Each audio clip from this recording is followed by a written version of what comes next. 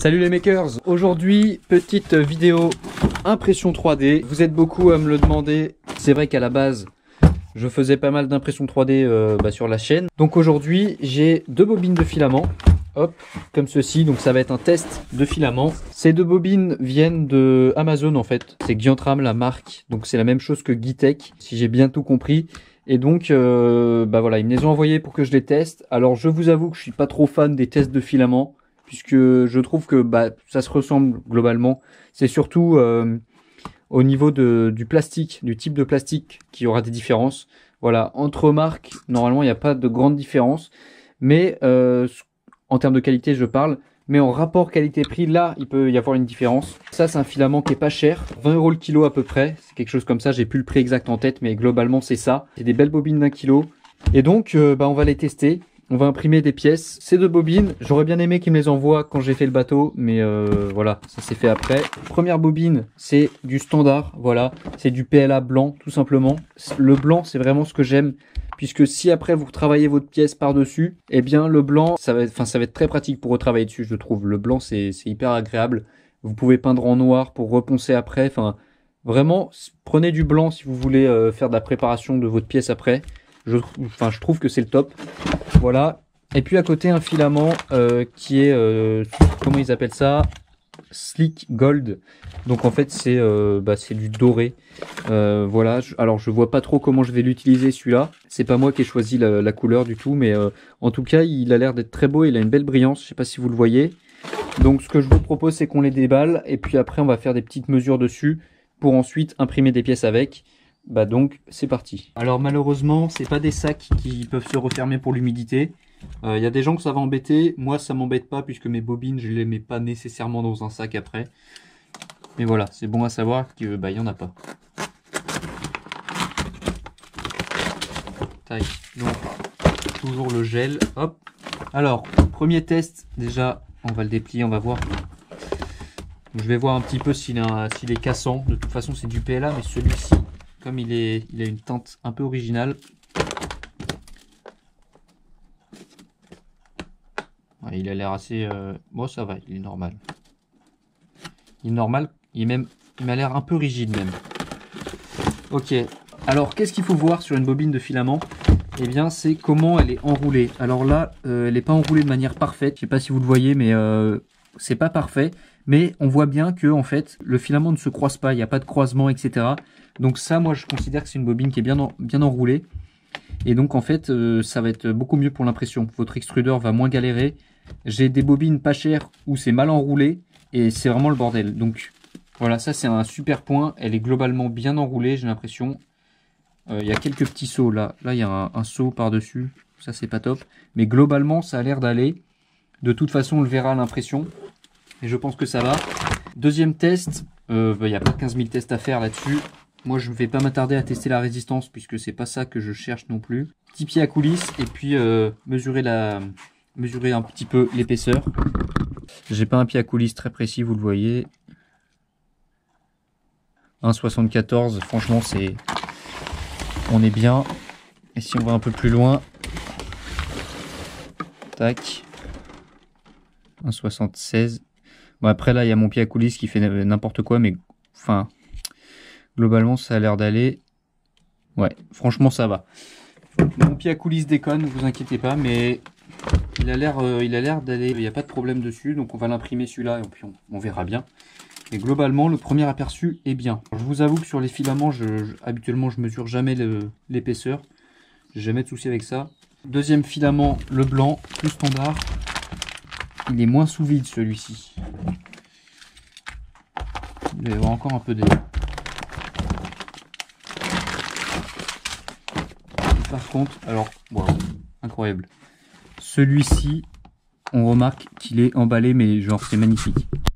Il est enroulé, mais enfin je sais pas si vous le voyez bien, mais vraiment hyper hyper bien. Franchement, euh, ouais, il n'y a pas grand chose à redire dessus, il est, carrément bien.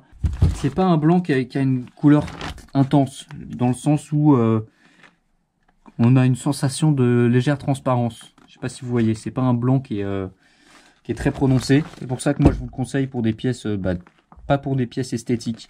Voilà, pour des pièces mécaniques, enfin pour ce que je fais, moi ça c'est vraiment le top. Et puis là, l'épaisseur, alors là je pense que ça va être nickel, honnêtement, vu comment il a l'air bien, bien enroulé, etc. 1,75 tout pile. Et là, par exemple, 1,74. Ouais, ça remonte à... On va aller beaucoup plus loin. On doit être à à peu près 1,74. Parce que mon pied est pas top. Mais ça a l'air d'être ça. Enfin franchement, il n'y a, pas de, de différence notable. Parce qu'en fait, si vous ne savez pas, mais si votre filament a des différences d'épaisseur, et eh bien, euh, comme votre extrudeur, il ne s'ajuste pas en fonction de ça, et eh bien, il y aura des moments où ça va sortir trop de filament ou pas assez. Et c'est ça qui fait, euh, qui peut faire des bavures, des cheveux d'ange. Quand la buse se déplace, ça fait des petits fils qui restent entre, euh, entre les deux points où, où elle se déplace. Donc là, franchement, plutôt satisfait. Donc, ce que je vous propose, c'est que bah, j'aille les tester. Voilà, c'est une vidéo de test. Hein. Ça peut ne pas vous intéresser, donc n'hésitez pas. Enfin, voilà, il y aura d'autres vidéos mécaniques. C'est pas grave si ça vous intéresse pas, mais voilà, moi c'est quelque chose qui m'intéresse, l'impression 3D. Donc, euh, donc voilà. Euh, donc, ce qu'on va faire dès maintenant, c'est aller imprimer des pièces avec pour les tester.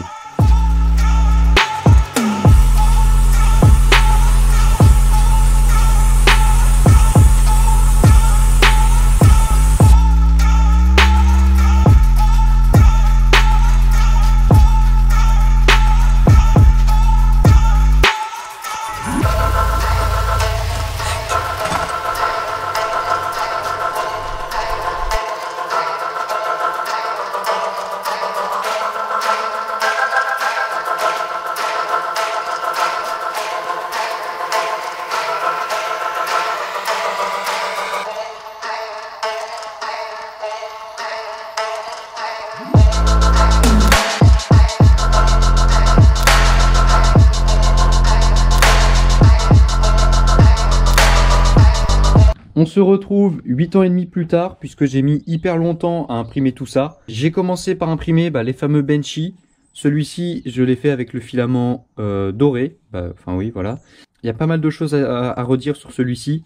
C'est un filament qui fait beaucoup de cheveux d'ange. Euh, vous le verrez, je vais vous mettre euh, des petits plans de coupe. Quand il n'y a pas de défaut sur la surface, elle est vraiment très propre. Donc je pense que ça, ça peut, ça peut s'améliorer avec les paramètres d'impression. Sachant que j'ai utilisé des paramètres totalement standards. Donc c'est du alors je sais plus, mais ça doit être du 0,1 ou du 0,15 mm ici, de couche, euh, remplissage de 20, 190 degrés d'impression en température, et puis euh, un plateau à 60. Pour ce qui est de la tenue au plateau, ça a vraiment très bien fonctionné sur toutes les pièces, vraiment rien à dire. J'utilise de la laque plus euh, mon plateau chauffant, donc voilà. Donc filament qui est, bah, qui est assez beau, qui a des, beaux reflets, mais qui est, qui est pas forcément très propre à imprimer. Le benchy blanc, Vraiment rien à redire. Enfin, vous allez voir, mais elle est, ouais, il, est, vraiment propre. Euh, on voit les écritures quand même. Il y a des petits défauts puisqu'il restait un peu du, jaune, donc il y a des petits mix de couleurs, mais euh, il est plutôt propre.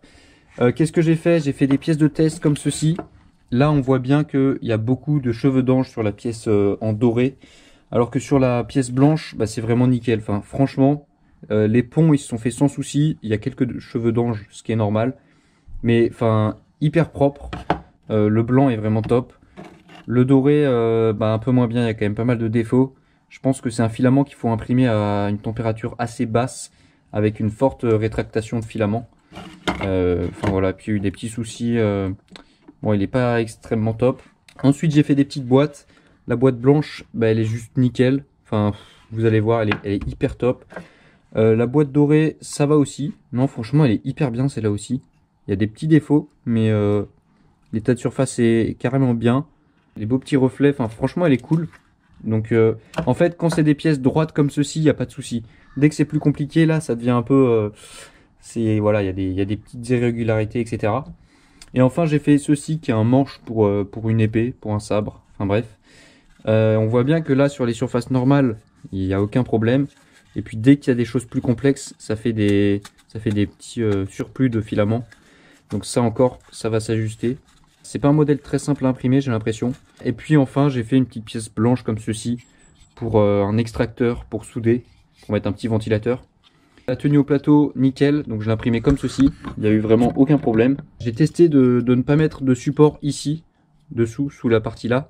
Et euh, bah, franchement, ça le fait bien. Donc euh, forcément, il y a des, c'est pas extrêmement propre, mais le dessus c'est quand même bien imprimé. Et puis voilà, enfin tout ça pour vous dire que c'est un filament qui a pas de souci pour faire des ponts, etc. Donc ça c'est hyper cool. Pour conclure, en gros, ce filament là, il est cool parce que bah il est beau, voilà. Mais je pense qu'il faut vraiment faire des essais euh, pour trouver des bons réglages. Il est quand même plus dur à imprimer que le blanc. Et le blanc, franchement foncé, il est, il est pas cher du tout. Je vous mets le lien en description. vraiment hyper top. J'ai eu aucun souci avec. Enfin, hyper simple à imprimer, il tient bien au plateau, c'est vraiment euh, hyper top.